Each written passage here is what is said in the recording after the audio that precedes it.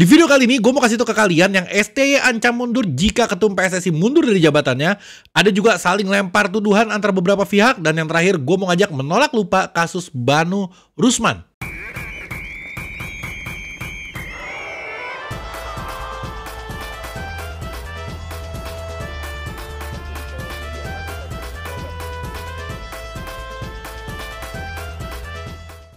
Oke Jack, Assalamualaikum. Balik lagi sama gue Ilan Alkatiri di Persija Inside. Video kali ini gue mau ngebahas sedikit tentang masalah problematika yang lagi, lagi dan lagi nggak selesai-selesai. Ini masih terus berlangsung dan bolanya semakin panas. Bola bergulir pun semakin besar. Jadi gue mau coba um, memberikan pendapat gue tentang kasus-kasus yang lagi terjadi saat ini. Ada beberapa hal yang tadi di awal udah gue singgung. Gue akan mulai pelan-pelan tentang kasus ini. Tapi sebelumnya seperti biasa di setiap video gue, gue mau ngingetin kalian takut lupa. Sholat dulu Jack, kalian wudhu, kalian sholat, pause video gue, balik lagi ke sini, baru nonton gue. Jangan karena nonton gue, lo tunda sholat lo, nggak bagus kayak begitu. Jadi sholat utamakan, setelah itu baru nonton gue. Oke, itu adalah pesan di setiap video gue. Insya Allah gue akan terus memberikan pesan-pesan baik untuk kalian yang masalah sholat, masalah dan yang lainnya. Gue akan sampaikan insya Allah satu persatu nanti di setiap video gue.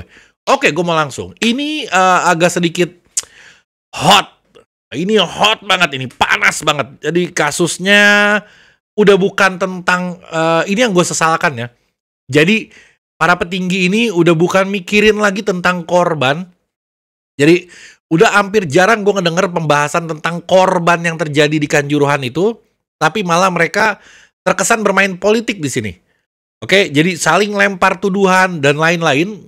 Maksud gue, kasus ini adalah kita harus fokus balik lagi ke korban. Jangan sampai ke jabatannya, terus ke posisi siapa yang mundur, siapa yang ini.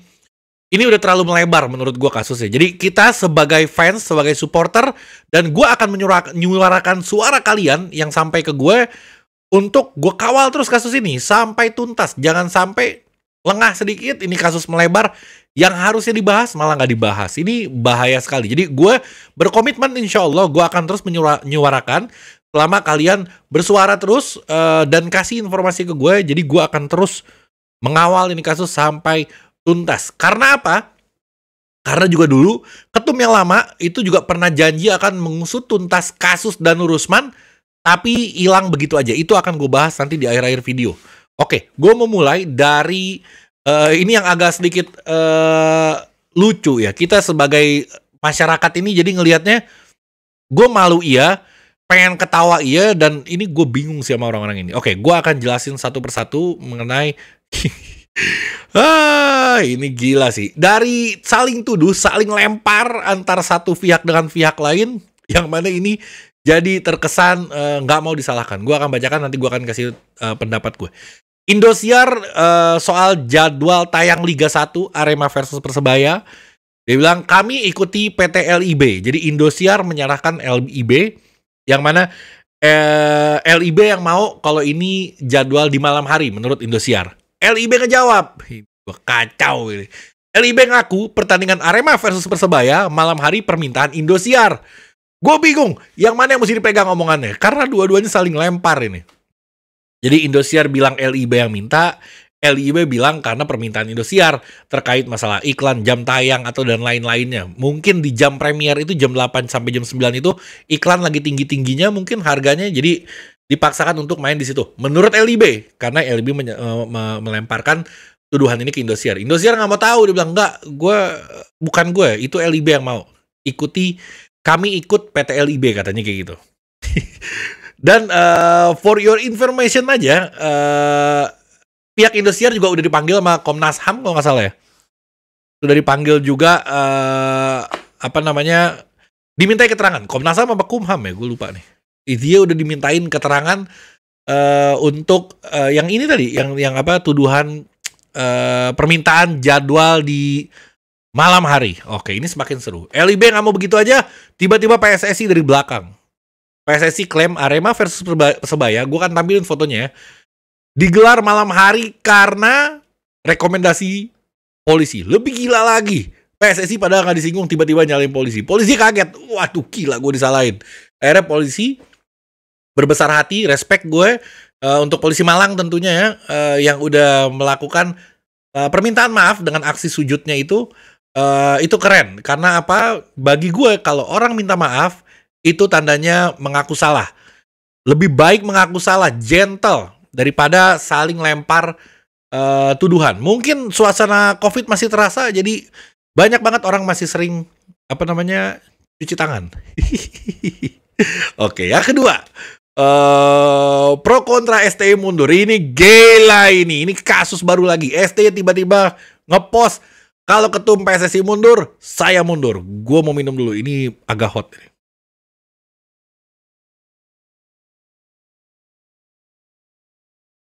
Oke, agak seger karena airnya dingin jadi gue men menetralisir suhu tubuh gue yang lagi panas ini. Gasal. Oke, Uh, eh, ST bilang kalau ketum PSSI mundur, uh, saya akan mundur. Ini lucu banget ini. Kenapa? Karena gue udah bikin di Instagram gue udah post video pendeknya. Bagi gue nggak ada kaitannya. STY ini dikontrak oleh PSSI oleh Indonesia dibayar untuk ngurusin timnas Indonesia. Bukan ngurusin lembaga PSSI, bukan ngurusin negara, enggak. Lu fokus aja cuman ngurus timnas Indonesia kasih yang terbaik, latih supaya jago, supaya uh, apa namanya prestasinya luar biasa. Kalau udah banyak prestasi, ngomong macam-macam nggak apa-apa. Jadi fokus aja dulu di sana. Gue nggak pengen STY out. Gue orang yang nggak kepengen STY out. Bukan karena gue demen sama STY, nggak juga. Biasa-biasa aja. Gue menganggap standar-standar aja uh, siapa pun pelatihnya yang penting Indonesianya bagus. Gue nggak mikirin person orangnya. Tapi yang gue sayangkan kalau STY sampai mundur, Berarti sepak bola kita harus mulai dari nol lagi. Dari awal lagi, cari pemain lagi, formasi baru, strategi baru. Sedangkan sepak bola kita ini sekarang lagi grafiknya lagi lagi naik gitu, lagi bagus. Jangan sampai kalau misalkan ST mundur tiba-tiba diganti sama yang baru, turun lagi dari bawah, baru naik lagi. Itu repot. Itu uh, yang gue sesalkan kalau sampai ST mundur. Yang gue sesalkan kedua dari pribadinya ST, ngapain dia tiba-tiba ngebela satu ketua umum untuk uh, mengorbankan tim nasional. Satu orang lo korbankan untuk ratusan juta pendukung ini nggak masuk di akal bagi gue. Jadi kalau berteman objektif lah. Kalau misalkan ini salah, anggap salah nggak apa-apa. Jadi mendingan diem. Gue selalu ngomong di beberapa kesempatan lebih baik diem daripada salah ngomong. Kayak misalkan sekarang ST ngomong saya mundur. Kalau misalkan ketemu mundur, tiba-tiba ketemu mundur. Ayo lo, mundur nggak? Belum tentu. Kontrak nih ada kontrak. Dia kalau misalkan mundur Eh, nggak uh, di kontraknya itu klausulnya bisa bahaya buat dia bisa kena denda dan lain-lain. Jadi jangan ngomong mendingan. Oke kasih support WhatsApp aja secara pribadi, jangan dipublikasi karena apalagi di post di Instagram kalau nggak salah. Itu bumerang bisa bahaya. Selain STY juga gue uh, agak ini ya sama pemain-pemainnya juga. Ada Asnawi, ada beberapa gue gue lihat lu catatan gue deh ya. Ada Asnawi, ada Egi Maulana Fikri kalau salah. Uh, bentar. Ini ada Fahrudin, Asnawi, Novrianto, uh, ada Elkan Bagot juga sama Egi Maulana Fikri yang dia uh, sebenarnya dia komentarnya nggak nggak secara utuh mendukung, tapi dia terkesan memberikan uh, persetujuan atas uh, pendapat itu. Jadi jangan juga ikut-ikutan, pemain timnas juga jangan ikut-ikutan. Ente fokus aja main. Jangan ngurusin ini urusan ini nih. Bukan bidangnya, ini urusan perpolitikan antara PSSI, LIB, Indosiar, dan lain-lain dengan kepolisian, dengan para fans. Ini urusannya ribet, jangan ikut-ikutan. Fokus aja latihan, main, depan gawang, golin, ada yang nyerang, tackle. Itu aja fokus, cari tahu caranya gimana biar nggak kegolan dan caranya biar nggak golin supaya juara. Itu aja dulu. Jadi jangan terlalu mikir ke mana-mana. Nanti bahaya buat kalian sendiri. Ketika nanti ada bumerang balik ke person kalian, Asnawi sekarang trending juga di Twitter. Tiba-tiba fans ngahajar Asnawi, misalkan pasti pro kontra. Kalau kontranya lebih banyak, karir Anda terancam di Indonesia. Maksud gue mendingan jangan ikut-ikutan. Gue nggak benci sama uh, ketum PSSI, gue nggak benci STY, gue nggak benci pemainnya. Gue biasa-biasa aja. Ketum PSSI diminta mundur, gue setuju nggak? Setuju aja. Sama, gue seperti kebanyakan orang setuju-setuju aja. Kalau dampaknya jadi positif. Kalau dampaknya jadi negatif, mendingan jangan. Karena ini bisa berbahaya buat timnas kita. Jadi gue nggak mikirin persen orang-orangnya masa bodoh amat. Mau siapa pun orangnya gue nggak ngurusin. Yang penting timnasnya. Sama seperti kalau gue ditanya waktu itu gue sama Bung Binder ditanya uh, di podcast dia Dia bilang siapa nih pemain favoritnya uh, Bung Filhan, eh Bung Ilan katanya. Gue bilang nggak ada, gue bilang. Gue nggak ngedukung pemain, gue ngedukung tim. Jadi nggak ada pemain yang gue idolakan, yang gue dukung adalah timnya. Sama seperti ini, gue nggak mengidolakan uh, Iwan Bule atau siapa Sintayong atau para pemainnya. Nggak ada urusan siapa yang main, gue bakal support. Yang penting timnasnya, lembah apa si si intinya yang yang gue support, bukan pemainnya. Oke, okay? jadi apakah gue setuju mundur? Gue setuju aja asal itu jadi positif. Tapi jangan cuma ketumnya mundur. Kalau jadi positif ya, kalau jadi negatif jangan, gue gak setuju. Jangan hanya ketumnya. Ini tim-tim yang di bawahnya ini udah puluhan tahun ada di PSSI. Kalau mau mundur, bubar semuanya. Ganti sama yang baru, pengamat sepak bola, ahli pakar sepak bola, macem-macem, fans yang gila yang bisa masuk ngurusin yang tahu manajemen mendingan itu udah ketahuan cintanya dia sama sepak bola tuh udah udah ketahuan. Kalau yang lagi ada sekarang gue nggak tahu cinta apa karena kepentingan apa karena apa gue nggak tahu. Jadi lebih baik jangan satu yang keluar tapi semuanya bersihin. Karena udah puluhan tahun ya karir timnas kita gini-gini aja nggak ada perubahan juga. Berarti gagal mereka ini untuk ngurus timnas kita sebenarnya. Itu menurut pendapat gue. Kalau misalkan enggak bang kita juara ini juara itu. Iya Nggak begitu harusnya tim. Timnas itu harusnya juaranya lebih tinggi lagi. Jadi standar ekspektasi lo jangan di sini, tapi standar ekspektasi lo tinggiin ke atas. Kalau standar ekspektasi lo cuma Piala AFF, kita juara Piala AFF nggak berhenti. AFF mau ngapain juara AFF? AFC coba sekali-kali.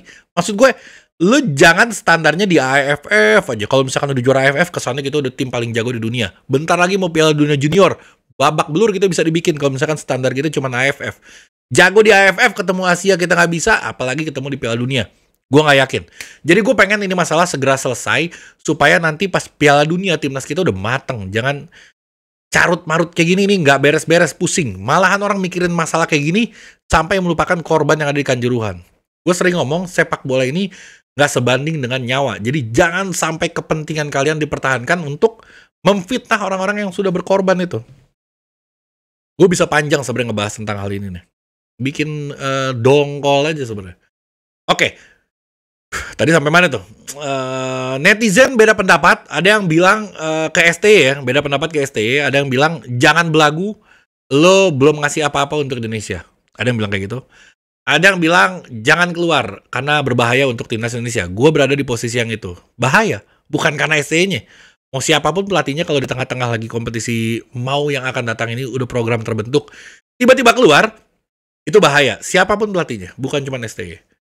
Terus sampai trending di Twitter. Gila, trending di Twitter, trendingnya lucu banget nih. Ini gue kasih lihat bentar.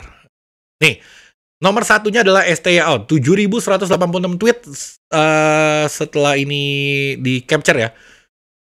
Terus ada ini apa lagi ada planet ban segala, sayang udah makan, percuma ada polisi, percuma ada polisi juga trending di Twitter dan Asnawi ini yang gue bilang. Asnawi hati-hati karena uh, bisa jadi bola liarnya malah balik ke Anda gitu. Jadi Asnawi pun trending. Uh, yang paling tinggi adalah STY out. Aneh gue, harusnya STY stay, jangan STY out. Bukan karena gue pecinta STY, tapi karena sepak bola kita jangan sampai rusak karena programnya sudah dijalankan. Jadi dia punya program misalkan di kontrak 5 tahun ya, dia udah tersusun tahun pertama, tahun kedua, tahun ketiga, tahun keempat. Jangan diruntuhin di tahun pertama, di tahun kedua, berantakan semua. Oke, yang terakhir, menolak lupa kejadian Banu Rusman. Kalau ada yang kalian ingat waktu itu di tahun 2017, kalau nggak salah ya, 2017 kalau nggak salah. Kalau ada yang kalau ada yang kalau gue salah ingetin coba di kolom komentar.